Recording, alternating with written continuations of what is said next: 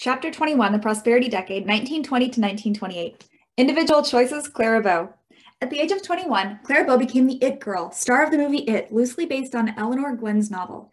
It was sex appeal, or in Glyn's words, an inner magic and animal magnetism, and Clara Bow, the It Girl, was the most popular movie star of the late 1920s. Clara was born in Brooklyn in 1905. Her father frequently abandoned Clara and her schizophrenic mother, who showed no affection for her daughter. Clara grew up streetwise, able to defend herself with her fists. She left school at 13, began to work, and decided to become a movie actress. Clara's mother threatened to kill her if she persisted with acting, but she was confined to a mental institution in 1922 and died soon after. Bow landed a contract with the Hollywood studio by the time she was 17 and appeared in 35 movies before reaching the age of 21. In the early 1920s, some films were emphasizing sexuality to attract audiences, as can be seen in the advertising in the Individual Voices feature at the end of this chapter. Thus, though Bow's first substantial role was as a tomboy, by 1925 her studio labeled her the hottest jazz baby in films. The New York Times agreed. She radiates an elfin sensuousness. It, released in 1927, clinched her fame as the essential flapper. F. Scott Fitzgerald claimed that Clara is the quintessence of what the term flapper signifies pretty, impudent, superbly assured, as worldly wise, briefly clad, and hard boiled tough as possible. He added that thousands of young women were now patterning themselves after her. On the screen, Bow was flirtatious and sensuous, conscious of her sexuality and willing to use it, and aggressive in accomplishing her goal. In the process, she usually revealed as much skin as the censors permitted. She lived in much the same way, attracting Hollywood's handsomest men, making them her lovers, and discarding them for someone new. Perhaps reflecting on her parents' marriage, she told a reporter, Marriage ain't women's only job no more. I wouldn't give up my work for marriage. Despite her huge popularity and succession of famous lovers, Bow remained deeply lonely. Her working class behavior and speech and the gossip about her sex life made her a social outcast in Hollywood. When silent films gave way to the talkies, the looming overhead microphone became her enemy, reminding her of her childhood stutter and threatening her self confidence. She made successful talking movies, but several public scandals led to cancellation of her studio contract. At the age of 25, Clara Bow seemed a has been. She married actor Rex Bell and moved into a remote ranch in Nevada. She starred in two films in 1933, both successful at the box office and with the critics, but Bow was done with Hollywood. Eventually, she was diagnosed with schizophrenia and depression. Later, she returned to live in solitude in LA and died there in 1965. In 1957, a poll of surviving silent film directors, actors, and cameramen placed Clara Bow a close second to Greta Garbo as the greatest actress of the silent films. Called the Jazz Age and the Roaring Twenties, the 1920s sometimes seems a whirl of conflicting images. Flappers, symbolized by Clara Bow, were flaunting new freedoms for women, while prohibition, although poorly enforced, seemed an effort to preserve 19th century values. The booming stock market um, promised prosperity to all with money to invest, even as thousands of farmers abandoned the land because they could not survive financially. Business leaders celebrated the booming economy, while many wage earners in manufacturing endured the destruction of their unions and saw their legal protections evaporate. White sheeted Klansmen, the KKK, marched as self proclaimed defenders of Protestant American values and white supremacy, but African American art, literature, and music were flowering. Amid these seeming paradoxes, the economy roared almost like a shiny new roadster fueled by easy credit and consumer spending, virtually unregulated until the fuel ran out. The bullish decade. Considering the questions, what was the basis for the economic expansion of the 1920s and what weaknesses, weaknesses existed within the economy? By 1920, the American economy had been thoroughly industrialized, with most industry controlled by large corporations run by professional managers. During the 1920s, the growth of the automobile industry dramatized the new perform prominence of industries producing consumer goods. This significant change in direction carried implications for advertising, banking, and even the stock market. The economics of prosperity. With the end of the war in 1918, the government canceled most orders for war supplies. Large numbers of recently discarded military or discharged military and naval personnel swelled the ranks of job seekers. Given wartime shortages and overtime pay, many Americans had been earning more than they could spend. At the end of the war, their spending helped to delay the post war slump in the economy until 1920 and 1921. Gross domestic product dropped by 4.3% between 1919 and 1920, then fell 8.6% between 1920 and 1921. During the war, unemployment affected only about 1% of the workforce. The jobless rate increased to 5% in 1920 and 12% in 1921. Some employers cut hours and wages. Figure 21.1 uh, presents earnings for three groups of Americans and indicates the impact of recession in the early 1920s. In the end, reduced earnings, unemployment, and declining demand halted the ramp, rampaging infl inflation of 1918 and 1919. The economy quickly rebounded. Gross domestic product increased by 15% between 1921 and 1922, a bigger jump than during the booming war years. Unemployment remained low from 1923 to 1929, and prices for most manufactured goods remained relatively stable. Thus, many Americans seemed somewhat better off by 1929 than in 1920. Targeting, targeting consumers. By the 1920s, many business leaders understood that persuading Americans to buy their products, that is, advertising, was crucial to keeping, keeping the economy healthy. The marketing of Listerine provided a successful model. Though Listerine had originally been intended as a general antiseptic, Gerard Lambert in 1921 developed a more profitable use for it when he plucked the obscure term halitosis, bad breath, from a medical journal. Until then, few Americans had been concerned about their breath. Through aggressive advertising, Lambert fostered anxieties about the effect of halitosis on popularity. Basically, he made people afraid to have bad breath and made millions by selling Listerine to combat this condition, this fear that he's helping to generate within consumers. There's a wonderful ad, by the way, on page 570 for Listerine that you should definitely take a look at. Other entrepreneurs also rushed to sell products by defining needs that consumers had not previously identified. In 1924, General Mills first advertised Wheaties as the breakfast of champions, tying breakfast cereal to athletic prowess. Americans responded by buying those products and many others. We grew up founding our dreams on the infinite promises of American advertising, Zelda Sayre Fitzgerald later wrote. Changing fashions also encouraged buying. Short hairstyles for women led to the, the, development of hair salons and stimulated sales for the recently invented bobby pin. Cigarette advertisers began to target women as when the American Tobacco Company urged women to reach for a lucky instead of a sweet to obtain a fashionably slim figure. Disposable products promoted recurrent purchases, notably Kotex, the first manufactured disposable sanitary napkin, their tampons, um, introduced in 1921 and the first disposable handkerchiefs introduced in 1924 and later known as Kleenex. Other technological advances contributed more prominently to the consumer-oriented economy. In 1920, about one-third of all residences had electricity. By the end of the decade, electrical power had reached nearly all urban homes, but fewer than 10% of farm homes. As the number of residences with electricity increased, advertisers encouraged housewives to save time and labor by using electric washing machines, irons, vacuum cleaners, and toasters. Between 1919 and 1929, uh, consumer expenditures for household appliances grew by more than 120%. Increased consumption brought changes in spending habits. Before the war, most families saved their money until they could pay cash for what they needed.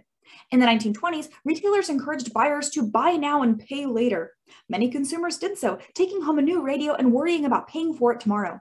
By the late 1920s, about 15% of all retail purchases were made through the installment plan, especially furniture, phonographs, washing machines, and refrigerators.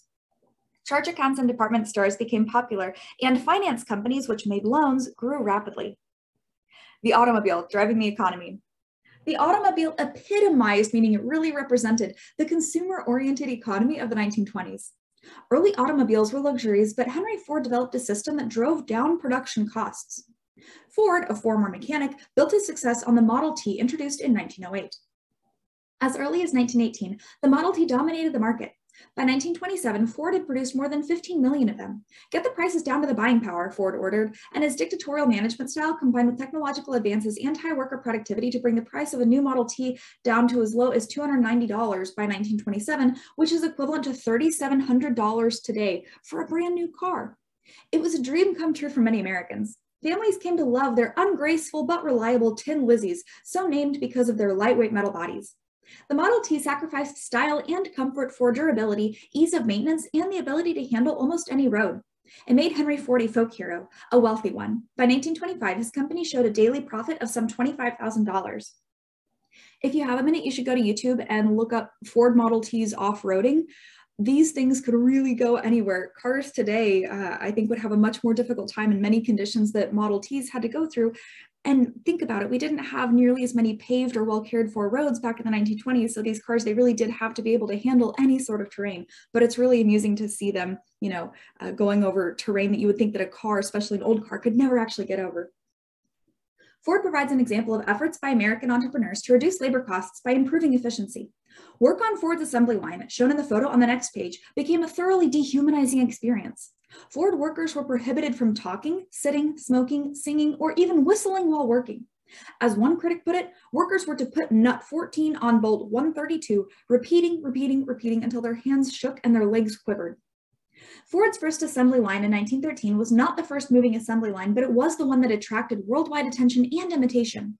It was, in many ways, an extension of the work of Frederick W. Taylor. Uh, we talked about Taylorism earlier, an industrial engineer who built a national reputation on his ability to take a complex operation requiring a high level of skill and break it down into, the most into its component parts. Taylor redesigned complex work processes so they could be done by relatively unskilled workers who required little training and were easy to replace. Then efficiency experts conducted time and motion studies to determine the ideal speed at which each task should be performed. Taylor described his system in Principles of Scientific Management, published in 1911. His emphasis on efficiency made that concept an important goal for manufacturers and for many Americans more generally. Ford paid his workers well and increased their pay if they completed Americanization classes. Ford workers earned enough money to buy their own Model T also. Ford's high wages pushed other automakers to increase pay for their workers to keep them from defecting to Ford. Auto workers thus came to enjoy some of the consumer buying previously restricted to middle and upper middle, uh, excuse me, and upper income groups. Competition helped to keep auto prices low. Other automobile companies challenged Ford's predominance, notably General Motors or GM, founded by William Durant in 1908, and Chrysler, created by Walter Chrysler in 1925. GM and Chrysler adopted many of Ford's production techniques, but their cars also offered more comfort and style than the Model T. Ford stopped producing the Model T in 1927 when Chevrolet passed Ford in sales. The next year, Ford introduced the Model A, which incorporated some features promoted by his competitors. He basically made his cars a little bit more comfortable. Advertising made the automobile the symbol not only of the ability of Americans to acquire material goods, but also of technology, progress, and the freedom of the open road. American consumers were receptive. By the late 1920s, about 80% of the world's registered vehicles were in the United States. By then, America's roadways supported, sported nearly one automobile for every five people. The automobile industry often led the way in advertising in uh, devising new sales techniques. By 1927, two thirds of all American automobiles were sold on credit. GM began introducing new models every year, encouraging owners to keep up with changes in design, color, and features. Small automakers soon found they could not compete with Chrysler, Ford, and GM, the big three. By 1929, the big three were making 83% of all cars manufactured in the country. The industry had become an oligopoly. Changes in banking and business. Henry Ford brought automobiles within reach of most Americans, and A.P. Giannini did something similar for banking. The son of Italian immigrants, Giannini founded the Bank of Italy in 1904 as a bank for shopkeepers and workers in San Francisco's Italian neighborhood. Until then, most banks had only one location in the center of a city and limited their services to business and to businesses and substantial citizens. Giannini brought his bank to ordinary people by opening branches near people's homes and workplaces. Called the greatest innovator in 20th century American banking, Giannini broadened the base of banking by encouraging working class people to open small accounts and to borrow for such purposes as car purchases. In the process, his bank, renamed the Bank of America, which you've probably heard of, became the third largest in the nation by 1927. Ford and Giannini were not the only entrepreneurs to emerge as popular and respected public figures. Perhaps the ultimate glorification of the entrepreneur came in 1925 in a book entitled The Man Nobody Knows. The author, Bruce Barton, founder of a leading advertising agency, suggested that Jesus Christ could best be understood as a business executive who had picked up 12 men from the bottom ranks of business and forged them into an organization that conquered the world. Portraying Jesus' parables as the most powerful advertisements of all time, Barton's book led the nonfiction bestseller lists for two years. Even though the number of corporations increased steadily throughout the 1920s, corporate mergers also accelerated, continuing earlier patterns toward greater economic concentration, thinking of like maybe the building of trusts, monopolies in earlier decades. By 1930, 5% of American corporations were receiving 85% of all net corporate income. Giannini's bank and Ford's company survived as relics of family management in an economy increasingly dominated by giant corporations and faceless corporate managers. For most large corporations, ownership, thousands of stockholders, and control, salaried managers, continued to grow more remote from each other, especially as large numbers of people came to see stock ownership as a short-term speculative venture, a way to get rich quick rather than a long-term investment. Get rich quick. During the 1920s, the stock market captured people's imagination as the fast track to riches. Speculation, or buying a stock with the expectation of selling it at a higher price later, ran rampant. Popular magazines proclaimed that everyone could participate and get rich quickly. By 1929, 4 million Americans, equivalent to about 10% of American households, owned stock. And if you're sitting there wondering what's going to happen when the Great Depression starts, that's exactly what you need to be wondering. Keep the end in mind, okay? Just as Americans purchased cars and radios on the installment plan, some also bought stock on credit. Some people bought stocks on margin, which is when they would pay part of the cost and owe the rest to the stockbroker. Many people borrowed money to buy stocks. Such ventures carried risk. If the investor paid $50 for a stock costing $100 with the remainder on margin or with borrowed money, and the stock price advanced to 150 bucks, the investor could sell, pay off the debt, and gain a net profit of 50 bucks. Unfortunately, if the stock price fell to $50, then the investor would still owe $50. So there's a lot of economic risk here. Driven partly by real economic growth and partly by speculation, stock prices rose higher and higher. Common stock prices tripled between 1920 and 1929. As long as the market stayed bullish and stock prices kept climbing, prosperity seemed endless. The ever rising stock prices and corporate dividends of the 1920s encouraged the creation of holding companies.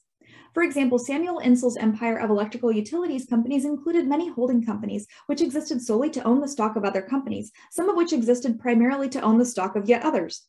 The financial well-being of such structures rested on the ability of the operating companies to pay regular dividends, meaning that they're paying back investors, since those dividends enable the holding companies to pay dividends on their bonds. An interruption in the dividends from the operating companies could bring the collapse of the entire pyramid, swallowing up the investments of speculators. Although the stock market remained the most popular path to instant riches, other speculative opportunities abounded. A land boom developed when people poured into Florida, especially Miami, attracted by the climate, the beaches, and the ease of travel from the chilly Northeast. Speculators bought land, any land, expecting its value to soar. Stories circulated of land that increased 1,500% in value over 10 years. Like stocks, land was bought with borrowed money. In 1926, the population influx slowed. The boom faltered, then collapsed when a hurricane slammed into Miami. By 1927, many Florida land speculators were facing bankruptcy. Agriculture, depression in the midst of prosperity. Prosperity never extended to most farmers, and farmers made up nearly 30% of the workforce in 1920. During the war, many farmers expanded operations in response to demands from abroad for food, and exports of farm products nearly quadrupled. After the war, European farmers resumed production, exports of farm products fell, and agricultural prices dropped. Throughout the 1920s, farmers consistently produced more than the domestic market could absorb, pushing prices down. We're talking about overproduction and underconsumption here, folks. The average farm's net income for the years 1917 and 1920 ranged between $1,196 and $1,395 in current dollars per year.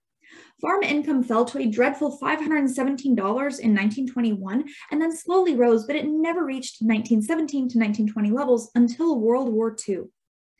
Farmers' net income never recovered to pre-war levels, but their mortgage payments more than doubled over pre-war levels, partly because many had borrowed to expand wartime production. Tax increases, purchases of tractors and trucks, now necessities on most farms, and the cost of fertilizer and other supplies bit further into farmers' meager earnings. Basically, it's more and more expensive to run a farm over time, and the crops they grow are getting less and less on the open market. As the farm economy deteriorated, the average value of an acre of farmland fell by more than half between 1920 and 1928.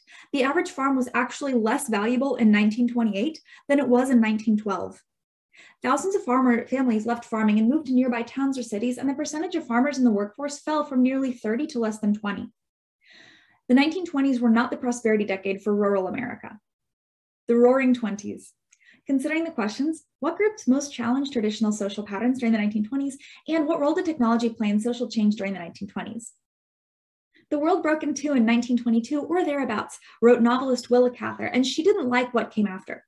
F. Scott Fitzgerald, another novelist, agreed with the date but believed 1922 marked the peak of the younger generation, who brought about the age of miracles. That is, he admitted, became an age of excess or that he admitted became an age of excess.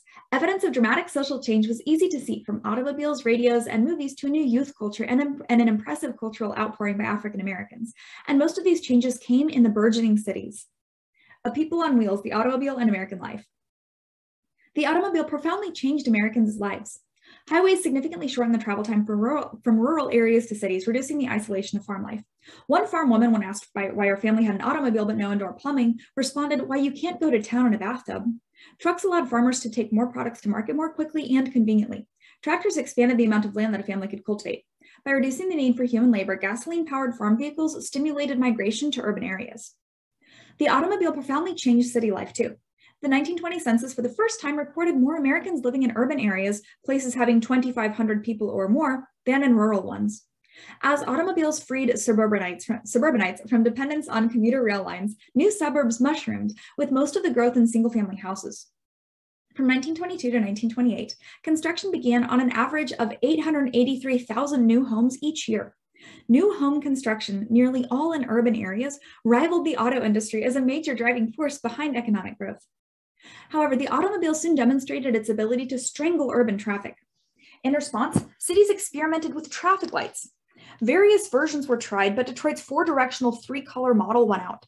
Traffic lights spread rapidly to other large cities, but traffic congestion nonetheless worsened. By 1926, during the evening rush hour in Manhattan, cars crawled along at less than three miles per hour, slower than a person could walk, and many commuters returned to trains and subways. Los Angeles, automobile metropolis. Manhattan was not designed for automobile traffic, but the fastest growing major city of the era, Los Angeles, was. The population of LA increased tenfold between 1900 and 1920, then more than doubled by 1930, reaching 2.2 million. Expansion of citrus fruit ra raising, major oil discoveries, and the development of the motion picture industry laid an economic foundation for rapid population growth in Southern California. Manufacturing also expanded. During the 1920s, the city moved from 28th to 9th place among American cities based on manufacturing. Lack of sufficient water threatened to limit growth until city officials diverted the Owens River to LA through a 233 mile long aqueduct, aqueduct opened in 1913. Throughout the 1920s, Southern California promoters attracted many thousands of people with images of perpetual summer, tall palm trees lining wide boulevards filled with automobiles, fountains gushing water into the sunshine, and broad sandy beaches. LA boomed as the automobile industry advocated a car for every family and real estate developers pushed the single family home. By 1930, 94% of all LA residences were single family homes, an unprecedented level for a major city, giving LA the lowest urban population density of any major US city. Single family homes, by the way, are like the opposite of a multifamily home or a multifamily building, um, something like an apartment building, maybe a duplex, something like that. Life in LA came to be organized around the automobile. The first supermarket offering one-stop shopping appeared there, and the Miracle Mile along Wilshire Boulevard was the first large shopping district designed for automobiles. The Los Angeles Times put it this way in 1926. Our forefathers in their immortal independence creeds uh, set forth the pursuit of happiness as an inalienable right of mankind. And how can one pursue happiness by any swifter and surer means than by the use of an automobile? By then, LA had one automobile for every three residents, twice the national average. Urban developers elsewhere now looked to LA for inspiration. A homogenized culture searches for heroes. LA was the capital of the movie industry. By the mid 1920s, towns of any size boasted at least one movie theater, and movie attendance increased from a weekly average of 40 million people in 1922 to 80 million in 1929, the equivalent of two thirds of the total population. As Americans all across the country laughed or wept at the same movie, this new medium helped to homogenize the culture. That is, to make our culture more uniform by bridging regional or ethnic differences. Basically, these are going to be common experiences that all Americans get to share. Radio also contributed to greater homogeneity. The first commercial radio station began broadcasting in 1920. Within six years, 681 were operating. By 1930, 40% of all families had radios, including half of urban families. Other important factors in promoting more homogeneity included the automobile, which cut travel time, and new laws that sharply reduced immigration. Radio and film joined newspapers and magazines in creating and publicizing national trends and fashions as Americans pursued one fad after another. In 1924, crossword puzzles captured the attention of many Americans, and Contract Bridge, a card game, became the rage in 1926. Such fads created markets for new consumer goods from crossword dictionaries to folding card tables. The media also helped to make spectator sports an obsession. Baseball had long been the preeminent national sport, and radio now broadcast baseball games nationwide. Other sports competed for fans' attention and dollars. Most Americans in the 1920s were familiar with the exploits of Lou Gehrig and Babe Ruth on the baseball diamond, Jack Dempsey and Gene Tunney in boxing, and Bobby Jones, a golfer. Gertrude Ederle won national acclaim in 1926 when she became the first woman to swim the English Channel and did so faster than any previous man. The rapid spread of movie theaters created a new category of fame, the movie star. Charlie Chaplin, Buster Keaton, Harold Lloyd, and others brought laughter to the screen. Tom Mix was the most prominent movie cowboy. In addition to Clara Bow, Sex made a star of Theda Bara, the, the vamp. Rudolph Valentino soared to fame as a male sex symbol, and his most famous film, The Sheik, set in a fanciful Arabian desert. The greatest popular hero of the 1920s, however, was neither athlete nor actor, but a small-town airmail, pi airmail pilot, Charles Lindbergh. Aviation then was barely out of its infancy. A few transatlantic flights had been logged by 1926, but the longest nonstop flight before 1927 was 2,500 miles from San Diego to New York. Lindbergh in 1927 set his sights on the $25,000 offered by a New York hotel owner for his first successful nonstop flight between New York and Paris, 3,500 miles. Lindbergh's plane, the Spirit of St. Louis, was a stripped down one engine craft. In a sleepless 33 and a half hour flight, during which he had nothing but ham and cheese sandwiches to eat, he earned the $25,000 and the adoration of crowds on both sides of the Atlantic. In an age devoted to materialism and dominated by a corporate mentality, Lindbergh's accomplishments suggested that old fashioned individualism, courage, and self reliance could still triumph over odds and adversity. By the way, if you're just listening to the audiobook, uh, make sure that you do refer to your text in order to see the images. There are several graphs, there are movie posters, there are pictures from back in the day that are really going to enhance your understanding of this decade. So make sure that you do uh, take a chance and look at those alienated intellectuals. Other Americans too went to Paris in the 1920s, but for different reasons than Lindbergh. These expatriates left the United States to escape what they considered America's intellectual shallowness, dull materialism, and spreading uniformity. As Malcolm Cowley put it in Exile's Return, 1934, his memoir of life in France, by expatriating himself, the artist can break the Puritan shackles, drink, live freely, and be wholly creative. Paris in the 1920s, he added, was a great machine for stimulating the nerves and sharpening the senses. Sinclair Lewis and H.L. Mencken became leading critics of middle class materialism and uniformity without moving to Paris. Lewis in Main Street 1920 presented small town middle class existence as not just boring but also stifling. In Babbitt 1922, Lewis depicted a suburban businessman, George Babbitt, as narrow minded and complacent, speaking in cliches and buying every new gadget. H.L. Mencken, editor of the American Mercury, pilloried the boo-boozies, the booboisie jeered at politicians and celebrated only writers who shared his disdain for most of American life. Others added, to, added to the critique of modern life. In The Wasteland, 1922, T.S. Eliot, an American poet living in England, presented modernity as sterile and futile. F. Scott Fitzgerald in The Great Gatsby, 1925, portrayed the pointless lives of wealthy pleasure seekers and their careless disregard for life and values. Ernest Hemingway in The Sun Also Rises, 1926, depicted disillusioned and jaded expatriates. Renaissance among African Americans. For the most part, despair and disillusionment troubled white writers and intellectuals. Such sentiments rarely appeared in the striking outpouring of literature, music, and art by African Americans in the 1920s. As African Americans continued to move from the South to northern cities, continuing the Great Migration, Harlem, the largest Black neighborhood in New York City, came to symbolize the new urban life of African Americans.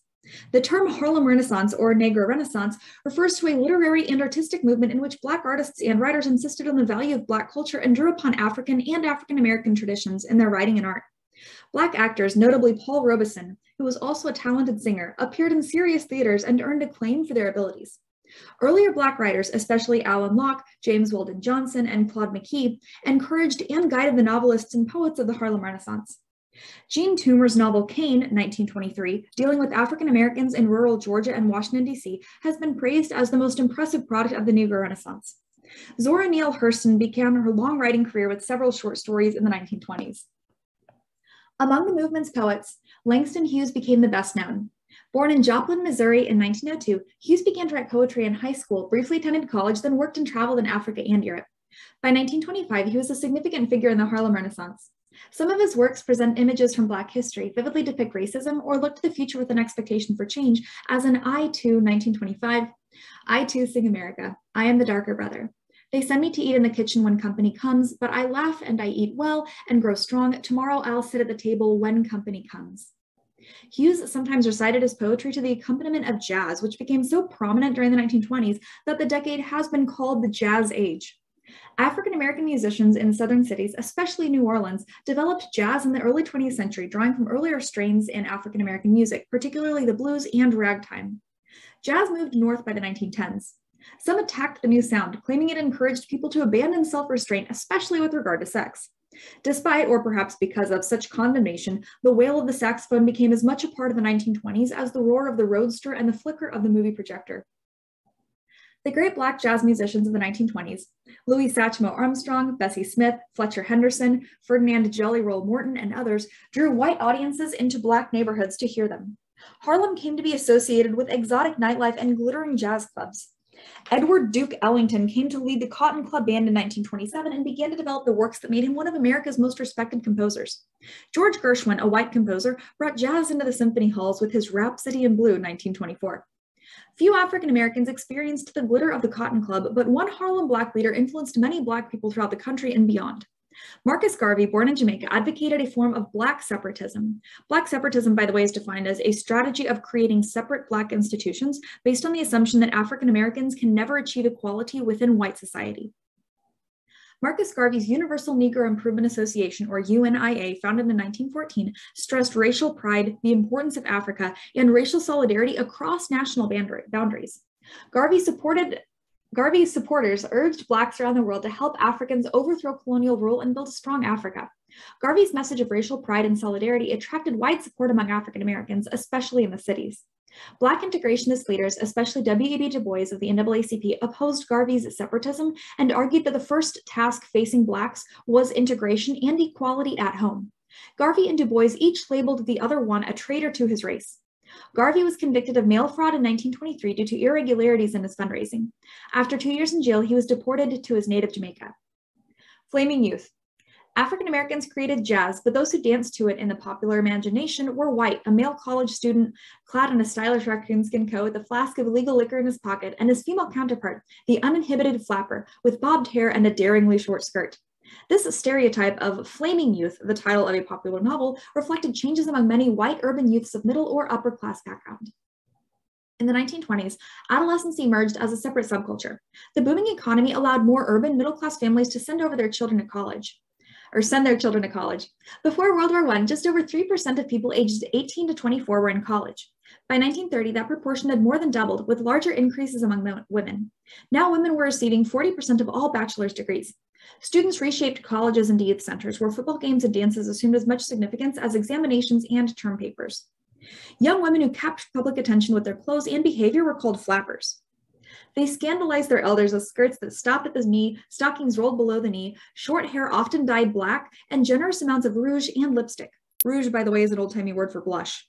Many observers assumed that their outrageous looks reflected outrageous behavior, that young women were abandoning their parents' moral values. In fact, women's sexual activity outside marriage began to increase well before the war, especially among working class women and radicals. Dating, too, owed its origin to pre war working class young people. In the 1920s, these behaviors appeared among college and high school students from middle class families. About half the women who came of age during the 1920s had intercourse before marriage, a marked increase from pre war patterns. Such changes were often linked to automobiles. Automobiles brought greater freedom to young people, for there they had no chaperone and could go where they wanted. Sometimes they went to a speakeasy where illegal alcohol was sold. Before Prohibition, few women entered saloons, but now while men and women alike went to speakeasies to drink, smoke, and dance to jazz. Some adults criticized such behavior by young people, but others emulated them, launching the first American youth culture. F. Scott Fitzgerald later called the years after 1922 a children's party taken over by the elders. Traditional America roars back. Considering the question, why and how did some Americans try to restore traditional social values during the 1920s? Many Americans embraced cars, movies, jazz, and radios, but others felt threatened by the pace of change and what seemed to be an upheaval in social values. In nearly every case, efforts to stop the tide of change appeared in both cities and rural areas, and many of those efforts dated to the pre-war era. In the 1920s, several movements seeking to restore elements of an older America came to fruition at the same time as Fitzgerald's, Fitzgerald's Age of Excess toward a more perfect union, the 18th and 19th Amendments. The 18th and 19th Amendments took effect in 1920. Both marked the culmination of decades-long advocacy and both benefited significantly from women's political activism. The 18th Amendment, or Prohibition, is unlike other amendments. First, Prohibition was designed to change Americans' behavior by prohibiting the manufacture, sale, or transportation of intoxicating liquors. Other amendments have changed political procedures, specified individual rights, or defined governmental authority. No other amendments have attempted to modify individuals' behavior. Second, prohibition is the only amendment ever repealed, testimony to its failure and a warning against using constitutional amendments to modify social behavior. The 19th Amendment, women's suffrage, took effect in time for women to participate in the 1920 elections, but most women did not vote. Analysis by recent political scientists suggests that outside the South, very few people voted in the South. About 25 to 40% of eligible women voted in 1920, and that the proportion of women who voted was significantly and consistently lower than that of men. Not until 1980 did women's turnout rate exceed that of men. But since 1980, the gap between women's and men's voting participation rates has steadily widened. In both 2008 and 2012, 53% of eligible women actually voted compared to 47% of eligible men. Prohibition. The 18th Amendment prohibition came to symbolize many of the efforts to preserve white, old stock Protestant values. Prohibition did reduce drinking somewhat, but many Americans simply ignored it. It grew less popular the longer it lasted.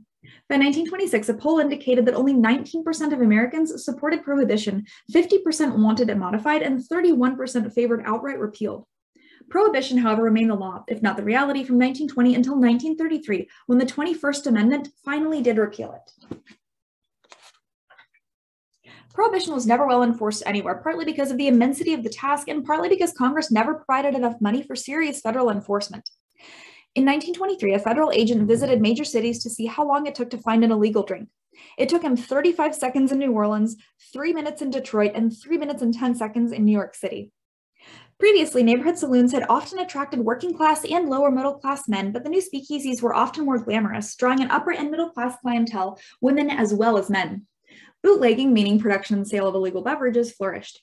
Some bootleggers made only small amounts of beer or wine and sold it to their neighbors.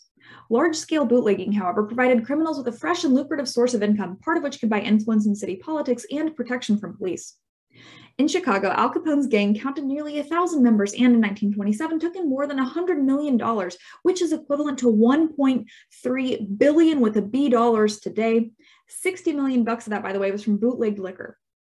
Capone faced competition from other gangs, and gang warfare raged across Chicago, producing some 500 slayings.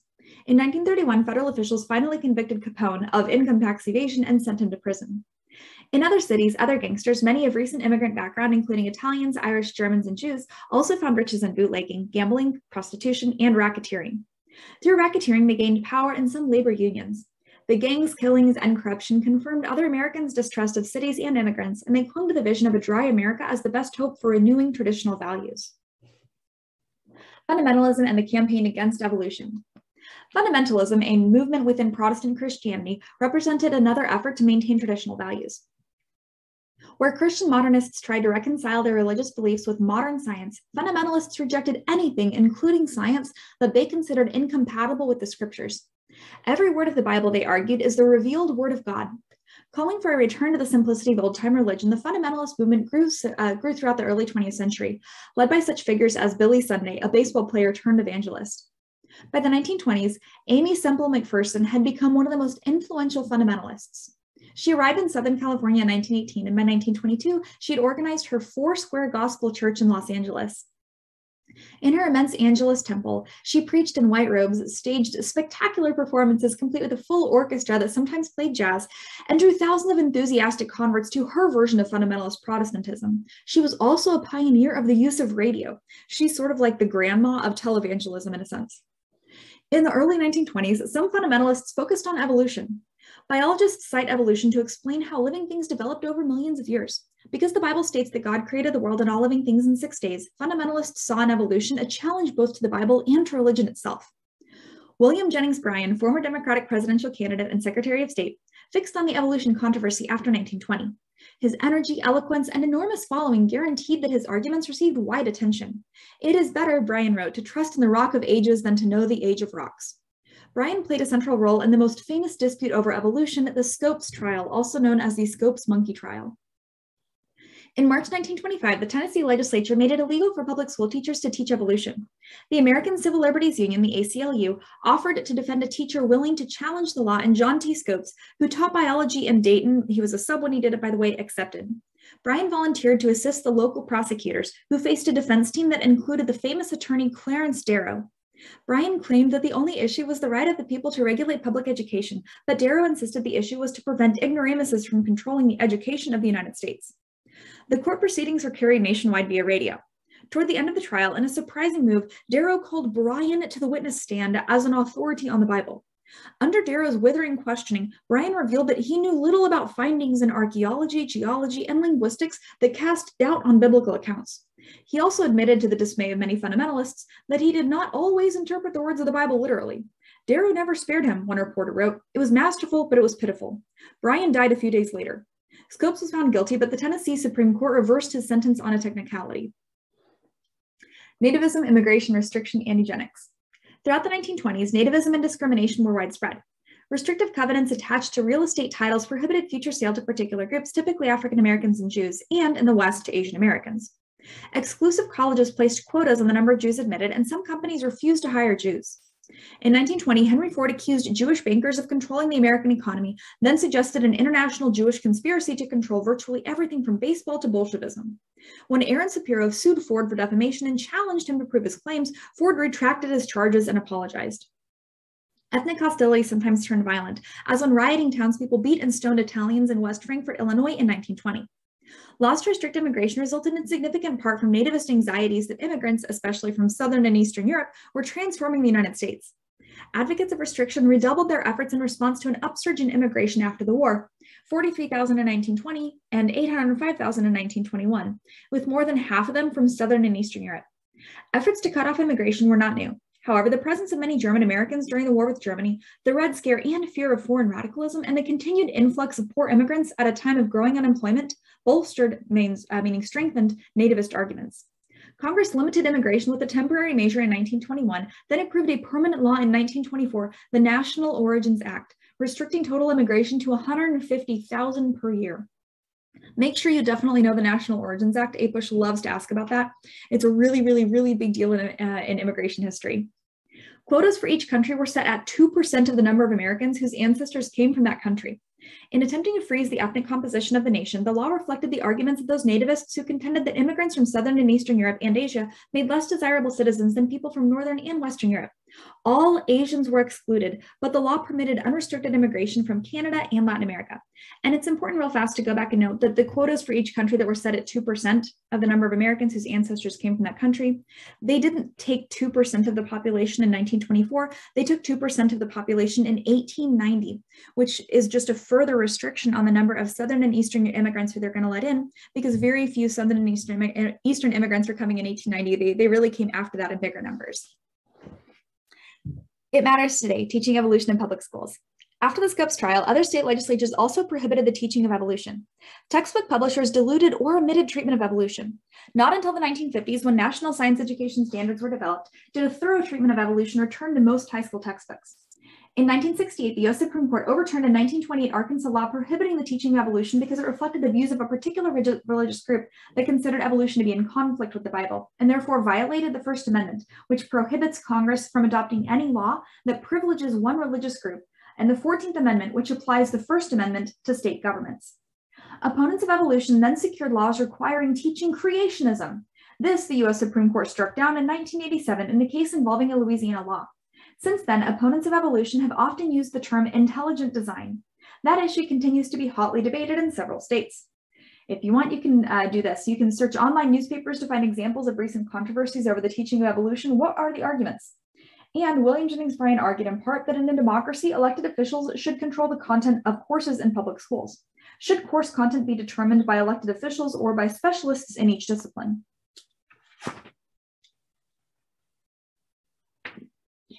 In its transparent effort to restrict immigration from Southern and Eastern Europe while admitting larger numbers from Northern and Western Europe, the National Origins Act also reflects the concern of some eugenics advocates.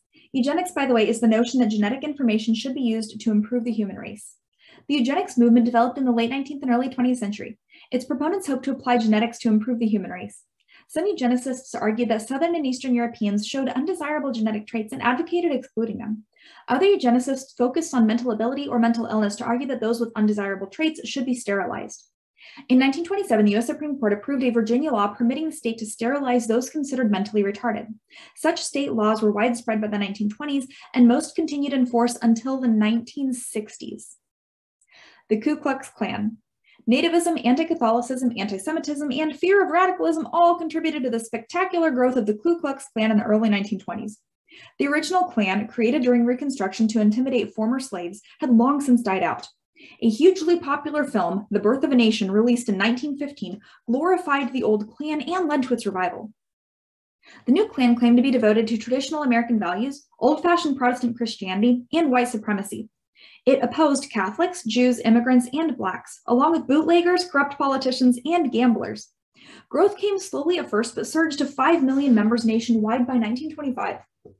The Klan showed strength in the South, Midwest, West, and Southwest, and in towns and cities as well as rural areas. Klan members participated actively in politics, and Klan leaders gained powerful political influence in some communities and states, notably Texas, Oklahoma, Kansas, Oregon, and Indiana. I would also add Colorado to that list. In Oklahoma, the Klan led a successful impeachment campaign against a governor who tried to restrict it. In Oregon, the Klan claimed responsibility for a 1922 law aimed at eliminating Catholic schools. The Supreme Court ruled the law unconstitutional. Many local and state elections in 1924 divided along pro and anti Klan lines.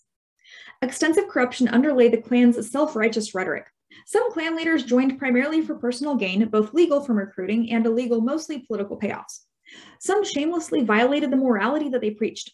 In 1925, D.C. Stephenson, a nationally prominent Klan leader, was convicted of second degree murder after the death of a woman who had accused him of raping her. When the governor refused to pardon him, Stephenson produced records proving the corruption of the governor of Indiana, a member of Congress, the mayor of Indianapolis, and other officials. Klan membership fell sharply amid factional disputes and further evidence of fraud and corruption. New social patterns in the 1920s, considering the three questions what continuities and changes characterized racial and ethnic relations during the 1920s? Is it appropriate to describe the 1920s as the lean years for working people? And how did gender roles and definitions change in the 1920s? The Harlem Renaissance and Klan Night Riders represented polar extremes of racial relations in the 1920s. For most people of color, the realities of daily life fell somewhere in between. For working people, the 1920s represented what one historian terms the lean years, when earlier gains were lost and unions remained on the defensive. For women, the 1920s opened with the victory of suffrage, but the unity mustered for that measure soon broke down. Ethnicity and race, North, South, and West. Discrimination against Jews, violence against Italians, and the Klan's appeal to white Protestants all point to the continuing, significance of ethnicity during the 1920s. Throughout the decade, racial relations remained deeply troubled at best, violent at worst. The Harlem Renaissance helped to produce greater appreciation for Black music and other accomplishments, but racial discrimination still confronted most African Americans wherever they lived. Some gained better jobs by moving to cities in the North or West, but many found work only in low paying service occupations. Nearly everywhere, social pressures and restrictive covenants limited access to desirable housing. Those who succeeded sometimes became targets for racial hostility, like the Black physician whose home was attacked by a white mob when he moved into a white Detroit neighborhood in 1925. A race riot uh, devastated Tulsa, Oklahoma in 1921, leaving nearly 40 confirmed dead. Black deaths outnumbered white by more than two to one, hundreds injured, and 1,400 Black businesses and homes burned. The NAACP continued to lobby for a federal anti-lynching law by publicizing violence against Blacks, but Southern legislators defeated each attempt, arguing against federal interference in the police power of the states.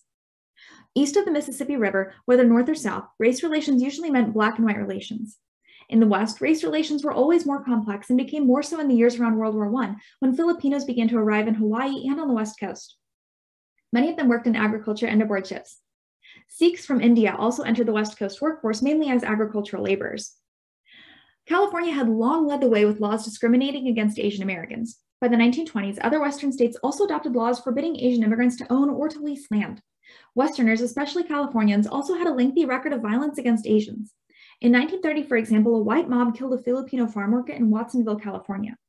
Some Asian immigrants and Asian Americans fought discrimination throughout the court or through the courts, but with little success. In the early 1920s, the US Supreme Court reaffirmed that only white persons and persons of African descent could become naturalized citizens, denying citizenship to persons born in Asia. The Supreme Court also ruled that Mississippi could require a Chinese American school child to attend a segregated school established for African Americans. Beginnings of change in federal Indian policy. During the 1920s, events began to converge in support of changes in federal policy toward American Indians. In the early 1920s, Interior Secretary Albert Fall tried to lease parts of reservations to white developers and to extinguish Pueblo Indians' title to some of their land. Fall's proposals, especially the Pueblo land issue, led to organization by John Collier, a social worker of the American Indian Defense Association, the AIDA, in 1923. Collier and the AIDA soon emerged as prominent advocates for changes in federal Indian policy. They sought better health and educational services on reservations, creation of tribal governments, tolerance of Indian religious ceremonies and other customs, and an end to land allotments. Changes intended to move toward a policy of recognizing Indian cultures and values rather than a policy that forced assimilation. Political pressure by AIDA and similar groups, along with political efforts by Indians themselves, secured several favorable new laws, including full citizenship for all Native Americans. These efforts laid the basis for a significant shift in federal policy in the 1930s. Mexican Americans.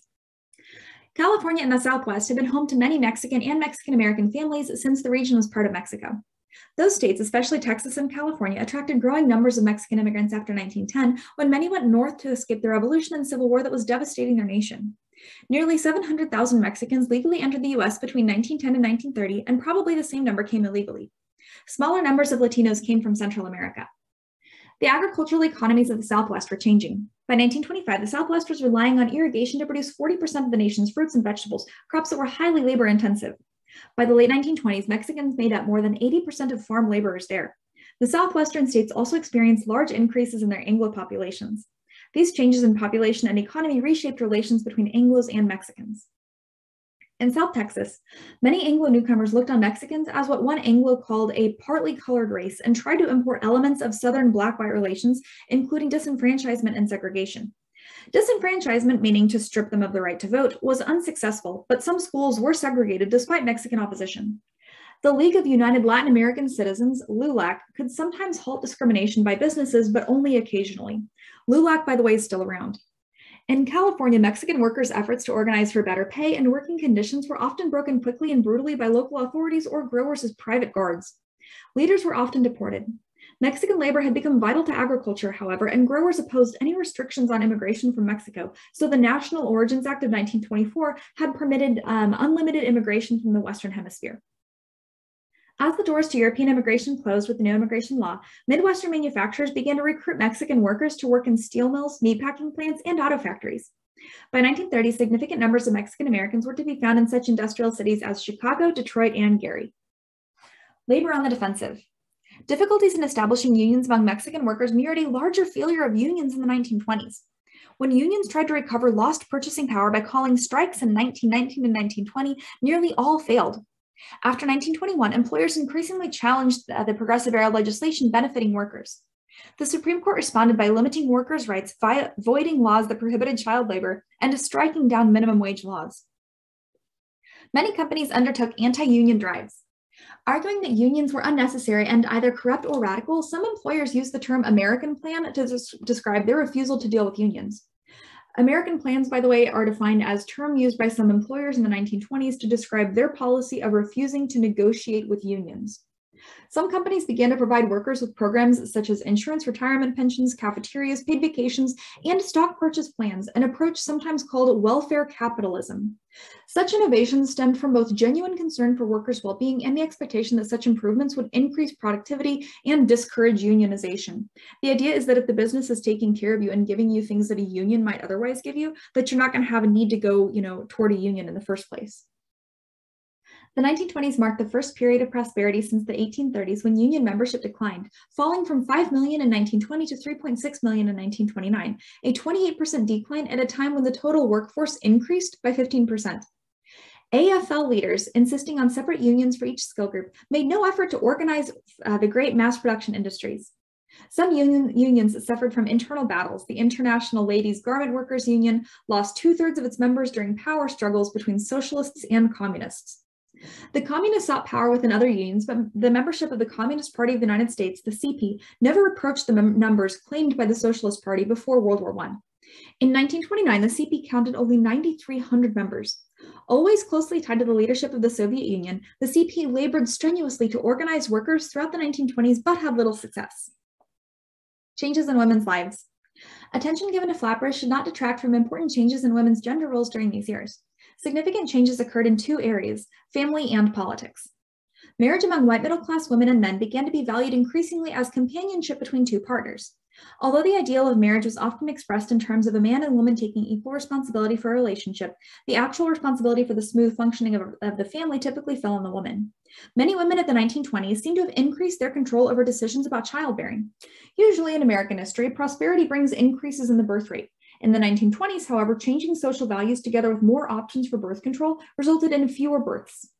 This declining birth rate reflected in part some success for efforts to secure wider availability of birth control information and devices, for example, diaphragms. The birth control movement gained the backing of some male physicians and became a more respectable middle class reform movement. By 1925, the American Medical Association had come to a, a support birth control, and the Rockefeller Foundation began to fund medical research into contraception methods. Nevertheless, until 1936, federal law restricted public distribution of contraceptive information, and many women still relied on illegal abortions to terminate unwanted pregnancies. In Clara Bow's Hollywood, abortions became almost routine as a way for actresses to meet their contractual obligations to perform in films and to avoid public scandal. As before, working class women struggled to stretch their finances to cover their family's needs. As before, some women and children worked outside the home to earn additional family income. The proportion of women working for wages remained stable during the 1920s at about one in four. The proportion of married women working for wages increased, though, from 23% of the female labor force in 1920 to 29% in 1930. After the implementation of the 19th Amendment women's suffrage in 1920, the unity of the suffrage movement disintegrated in disputes over the proper role for women voters. Both major political parties welcomed women as voters and modified the structure of their national committees to provide that each state be represented by both a national committee man and a national committee woman. Some suffrage activists joined the League of Women Voters, a nonpartisan group committed to social and political reform. The Congressional Union, led by Alice Paul, converted itself into the National Women's Party and, after 1923, focused its efforts on securing an Equal Rights Amendment, or the ERA, to the Constitution. The League of Women Voters disagreed, arguing that such an amendment would endanger laws providing protection for women. Their concern there is that equality means that protections the women specifically need would no longer be legal. So they want to keep some of those protections on the books. Whereas supporters of the ERA would, would really prefer for those laws not to get in the way of full legal, social, and political equality. There is, by the way, um, a section, a deeper understanding of history using statistics to, and historical analysis that's on page 586. That's a really good thing to actually read and look at yourself. I'm not going to include that in this audiobook because describing and reading these stats out loud isn't quite, I think, going to, to be, um, it's not going to be easy for you to comprehend it. So I would recommend reading that in the book. Development of gay and lesbian subcultures. In the 1920s, gay and lesbian subcultures became more established and relatively open in several cities. The Captive, a play about lesbians, opened in New York in 1926, and some movies included unmistakable homosexual references. Novels with gay and lesbian characters were published in the late 1920s and early 1930s. In Chicago, the Society for Human Rights was organized to advocate equal treatment. A relatively open gay and lesbian community emerged in Harlem, where some prominent figures of the Renaissance were gay or bisexual. The annual Hamilton Lodge Drag Ball in Harlem attracted as many as 7,000 revelers and spectators of all races. At the same time, however, more and more psychiatrists and psychologists were labeling homosexuality a perversion. Perversion, by the way, is a sexual practice considered abnormal or deviant. By the 1920s, the work of Sigmund Freud had become well known. Following Freud, psychiatrists and psychologists now labeled homosexuality a sexual disorder requiring a cure, though no cure proved viable. Thus, Freud's theories may have been liberating for heterosexual relations, but they proved harmful for same sex relations the new medical definitions were slow to work their way into the larger society. The armed forces, for example, made little effort to prevent homosexuals from enlisting and took disciplinary action only against such behavior that violated laws against sodomy. The late 1920s and early 1930s brought increased suppression of gays and lesbians. New state laws gave police greater authority to prosecute open expressions of homosexuality. Adam Clayton Powell, a leading Harlem minister, launched a highly publicized campaign against gays. Motion Picture Studios instituted a morality code that, among its wide ranging provisions, prohibited any depiction of homosexuality. The end of Prohibition after 1933 brought increased regulation of businesses selling liquor, and local authorities often used that power to close establishments with gay or lesbian customers. Thus, by the 1930s, life was becoming more difficult for many gays and lesbians. The politics of prosperity, considering the questions, compare the economic policies of the Harding and Coolidge administrations with those of the Roosevelt and Wilson administrations, and compare La Follette's campaign in 1924 with those of Roosevelt in 1912 and the populists in 1892. Sooner or later, the major social and economic developments of the 1920s found their way into politics, from highway construction to prohibition, from immigration restriction to the teaching of evolution, from farm prices to lynching. After 1918, the Republicans regained the national majority they had held from 1894 to 1912, and they remained the unquestioned majority throughout the 1920s. Basically, the Republicans have the most political power during the 1920s, not only the presidency, but also in other ways.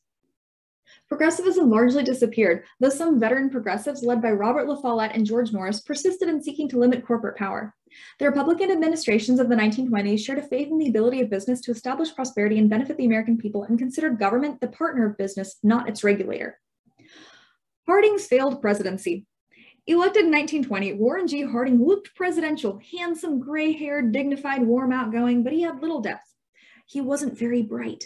For some appointments, he chose the most respected leaders of his party, including Charles Evans Hughes for Secretary of State, Andrew Mellon for Secretary of the Treasury, and Herbert Hoover for Secretary of Commerce. Harding, however, was the most comfortable play- was most comfortable playing poker with his friends, and he gave many government jobs to his cronies and political supporters. They made his administration one of the most corrupt in American history. As their misdeeds came to light, Harding put off taking action against them. Returning from a trip to Alaska, he died on August 2, 1923, probably from a burst blood vessel in his brain. The full extent of corruption became clear after Harding's death. Albert Fall, Secretary of the Interior, had accepted huge bribes from oil companies for leases on federal oil reserves at Elk Hills, California, and Teapot Dome, Wyoming. Attorney General Harry Daugherty and others pocketed payoffs to approve the sale of government held property below its value. Daugherty may also have protected bootleggers. The head of the Veterans Bureau defrauded the government of more than $200 million. In all, three cabinet members resigned, four officials went to jail, and five men committed suicide. As if the corruption were not enough, in 1927, Nan Britton published a book claiming she had been Harding's mistress, had borne his child, a claim that has since been confirmed by DNA evidence and testing, and had carried on trysts with him in the White House. Scandalous. By the way, Teapot Dome is something you should definitely know. Um, the Teapot Dome scandal is also depicted in a political cartoon here on page 588. As these scandals unfolded, hard pressed farmers turned to the federal government for help. In 1921, farm organizations worked with senators and representatives to form a bipartisan farm bloc to support legislation that would assist farmers. In the 1922 elections, distraught farmers across the Midwest turned out conservatives and elected candidates attuned to farmers' problems. Congress passed a few assistance measures in the early 1920s, but none addressed the central problems of overproduction and low prices. By 1922, some farm organizations joined with unions, especially unions of railroad workers, to form the Confederate Conference for Progressive Political Action and agitate for a new progressive party. The three candidate presidential election of 1924. When Harding died, Vice President Calvin Coolidge became president. Fortunately for Republicans, Coolidge exemplified honesty, virtue, and sobriety. In 1924, Republicans quickly chose him as their candidate for president. The Democratic Convention, however, sank into a long and bitter deadlock. The party had long divided between Southerners, mostly Protestant and committed to white supremacy, and Northerners, often city dwellers and of recent immigrant descent, um, including many Catholics. In 1924, the Klan was approaching its peak membership and exercised significant influence among many Democratic delegates from the South and parts of the Midwest. Many Northern Democrats wanted to nominate Al Smith for president. Highly popular as governor of New York, Smith epitomized urban immigrant America. Catholic and the son of immigrants, he was everything that the KKK and most of the Southern Convention delegates opposed. After nine hot days of deadlock and 103 ballots, the exhausted Democrats uh, turned to a virtually unknown compromise candidate, John W. Davis, who had served in the Wilson administration and become a corporate lawyer. All in all, the convention seemed to confirm the observation by the contemporary humorist Will Rogers I belong to no organized political party. I am a Democrat. Surviving progressives welcomed the independent candidacy of Senator Robert M. La Follette, nominated by a new progressive party formed by farmers, unions, and reformers. The La Follette progressives attacked big business and promoted collective bargaining, reform of politics, public ownership of railroads and water power, and a public referendum on the questions of war and peace. La Follette was the first presidential candidate to be endorsed by the American Federation of Labor. Republican campaigners largely ignored Davis and focused on portraying La Follette as a dangerous radical. Coolidge claimed the key issue was whether America will allow itself to be degraded into a communistic or socialistic state, or remain American.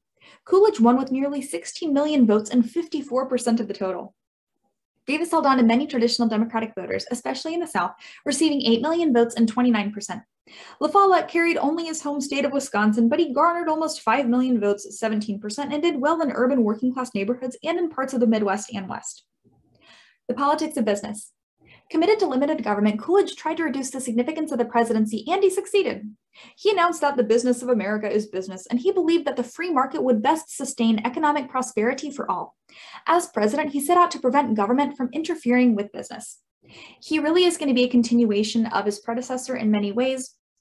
Um, Harding, when he got in office, remember his slogan was, you know, a return to normalcy, getting America back to normal, whatever that might mean, you know, stopping the churning of progressivism. And Coolidge is going to be a continuation of those same ideas. Coolidge had little sympathy for efforts to secure federal help for the faltering farm economy. Congress tried to resolve the problems of low prices for farm products and persistent agricultural surpluses with the McNary-Haugen bill, which would have created federal price supports and authorized the government to buy farm surpluses and to sell them abroad. The Farm Bloc pushed the bill through Congress in 1927, but Coolidge vetoed it. The same thing happened in 1928. In contrast, the Railway Labor Act of 1926 drew on wartime experiences to establish collective bargaining for railroad employees. Passed by overwhelming margins in Congress, the new law met most of the railway union's demands and effectively removed them from politics. Andrew Mellon, one of the wealthiest men in the nation, served as Secretary of the Treasury throughout the 1920s. Arguing that high taxes on the wealthy stifled the economy, he secured tax breaks for the affluent, affluent, the rich, claiming they would benefit everyone through productive investments of the tax savings. The result, however, was greater income inequality. Herbert Hoover, Secretary of Commerce under Harding and Coolidge, urged Coolidge to regulate the increasingly wild use of credit, which contributed to rampant stock market speculation, but Coolidge refused. Coolidge cut federal spending and staffed federal agencies with people who shared his distaste for too much government. Unlike Harding, Coolidge found honest and competent appointees, um, putting pro business figures into regulatory commissions and naming conservative pro business judges to the courts. The Wall Street Journal described the outcome. Never before, here or anywhere else, has a government been so completely fused with business. The 1928 campaign and the election of Hoover. In August of 1927, President Coolidge announced, I do not choose to run in 1928, stunning the country and his party. Secretary of Commerce Herbert Hoover immediately declared his candidacy, and Republicans um, found him an ideal candidate, representing what most Americans believed was best about the U.S. individual effort and honestly earned success. Son of a Quaker blacksmith from Iowa, Hoover was orphaned at 10 and grew up believing that hard work was the only way to success. After graduating from Stanford University, he traveled the world as a mining engineer and became a millionaire. When World War I broke out, he returned to public service, organizing relief for Belgium. When the U.S. entered the war, President Wilson named Hoover to head the U.S. Food Administration. By the end of the war, Hoover had become an international hero.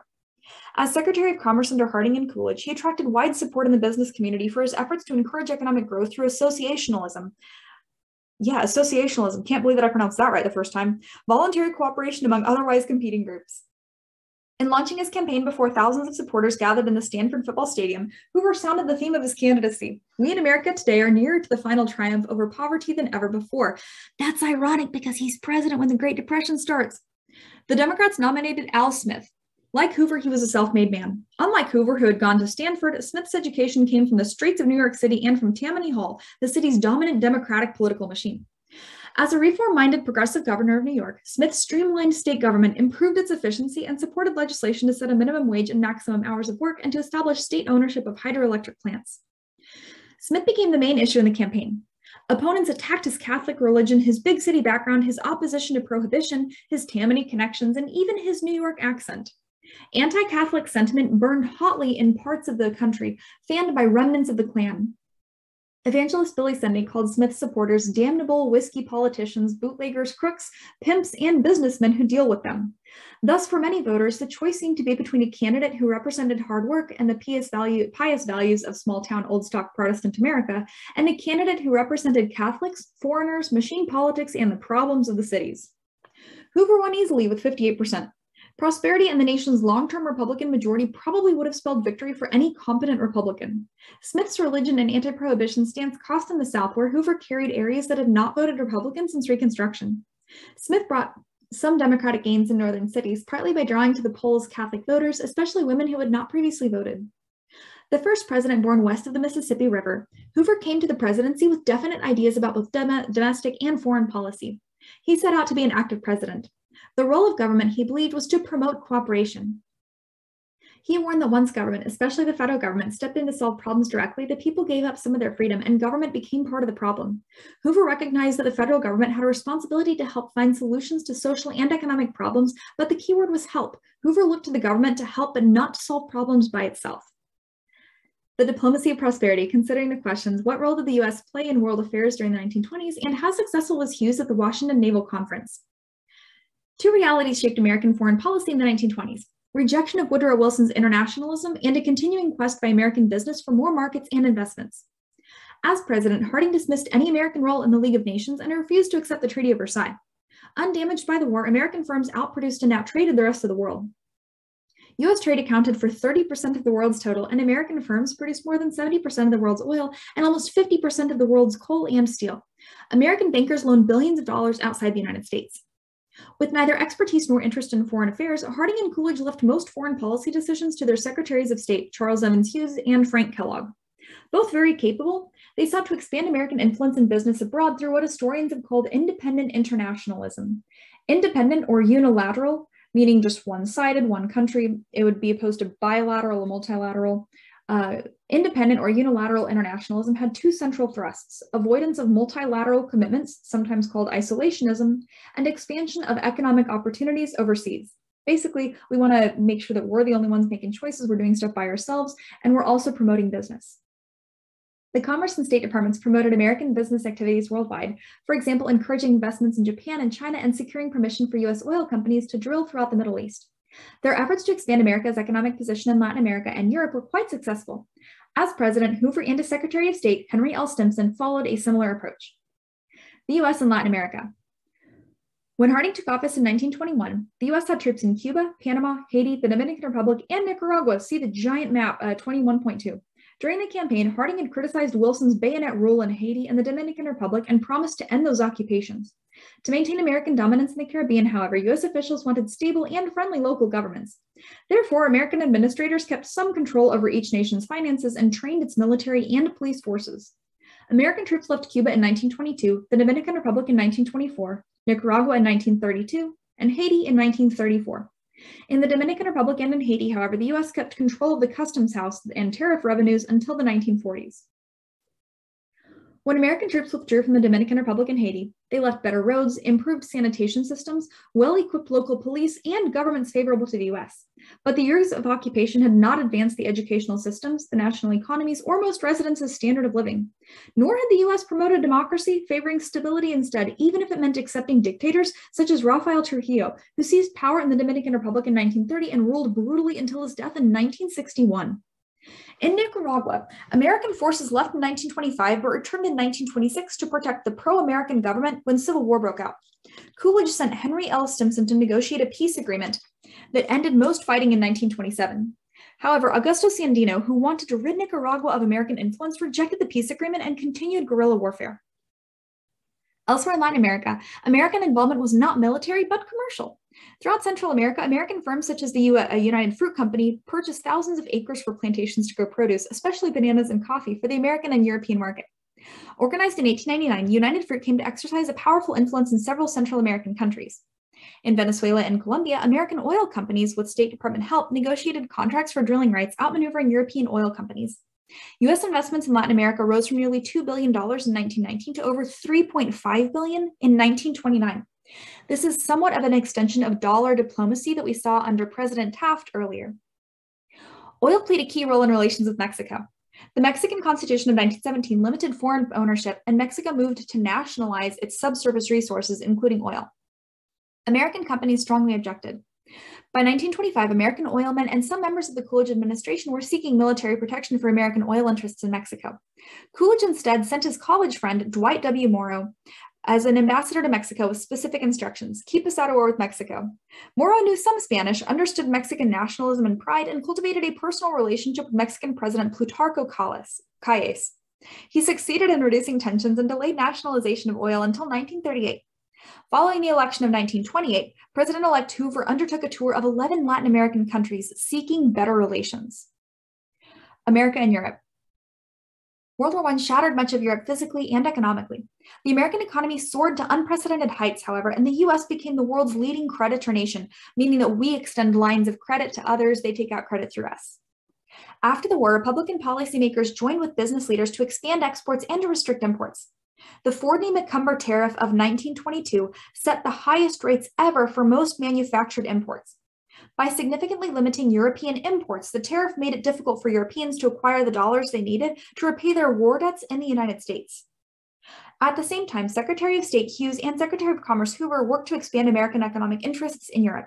Ford, for example, built the largest automobile factory outside the US and England and constructed a tractor factory in the Soviet Union. Hughes and Hoover were especially concerned about Germany. They reasoned that if Germany recovered economically and paid its $33 billion war reparations, other European nations would also recover and repay their debts. Encouraged by federal officials, Americans invested over $4 billion in Europe, doubling their investments there. General Motors purchased Opel, a German automobile firm, or excuse me, yeah, General Motors purchased Opel, a German automobile firm. Even so, Germany could not make its reparation payments, defaulting in 1923 to France and Belgium. In response, French troops occupied Germany's Ruhr Valley, a key economic region, igniting an international crisis. Hughes sent Charles G. Dawes, a Chicago banker and prominent Republican, to resolve the situation. Under the Dawes Plan, American bankers loaned $2.5 billion to Germany for economic development. The Germans promised to pay $2 billion in reparations to the European allies, who in turn were to pay $2.5 billion in war debts to the United States. Though this circular flow of capital produced jokes at the time, it worked fairly well until 1929 when the Depression ended nearly all loans and payments. In the wider world, hyperinflation in the Weimar Republic. In 1919, a German constitutional assembly wrote a liberal democratic constitution in the town of Weimar, so the new government was often referred to as the Weimar Republic. Not entirely sure that I'm pronouncing that right, but we're just going to go with it.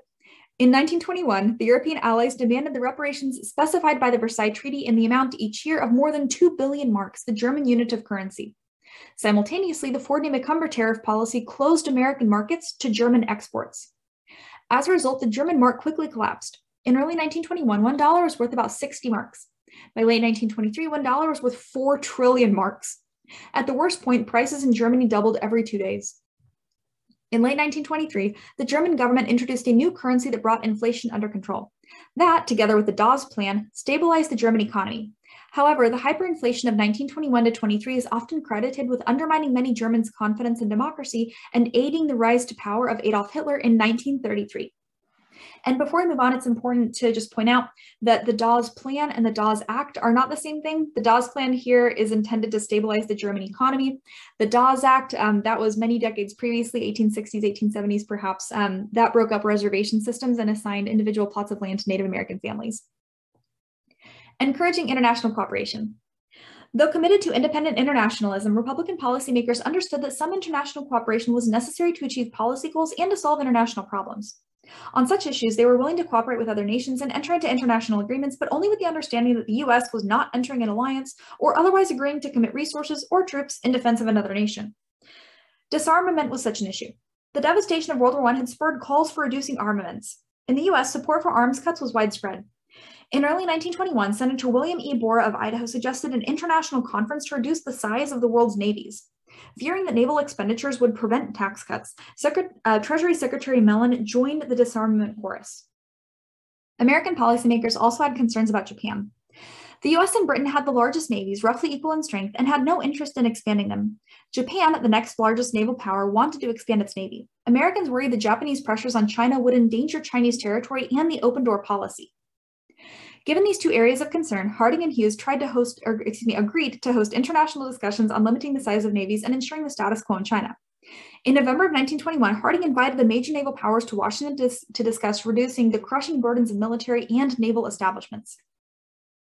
When the delegates assembled for the Washington Naval Conference, Hughes shocked them with a radical proposal scrap nearly 2 million tons of warships, mostly battleships. He also called for a 10-year ban on naval construction and limits on the size of navies, a proposal aimed especially at the Japanese. Hughes suggested a ratio of 5 to 5 to 3 for the US, Britain, and Japan, with Italy and France allocated 1.7 each. Hughes's plan garnered immediate support among both the American public and most of the participating nations, but not Japan. Calling Hughes's ratio an insult, the Japanese demanded equality. Discussions dragged on for two months, but the Japanese finally agreed. US intelligence had broken the Japanese diplomatic code, so Hughes knew the Japanese delegates had orders to concede if he held firm. In February 1922, the US, Britain, Japan, France, and Italy agreed to build no more capital ships for 10 years and to abide by the 5, 5, 3, 1.7, 1.7 ratio for future shipbuilding. Hughes, according to a British observer, had sunk more British ships than all the admirals of the world. The nations also agreed to prohibit the use of poison gas and not to attack one another's Asian possession, Asian possessions. Another treaty affirmed the sovereignty and territorial boundaries of China and guaranteed equal commercial access to China, thereby maintaining the open door. Hughes considered the meeting successful, though critics complained that there were no enforcement provisions and no mention of smaller ships. Other attempts to reduce armaments had mixed outcomes. In 1930, Britain, the US, and Japan established ratios for cruisers and destroyers similar to those of the Washington Conference.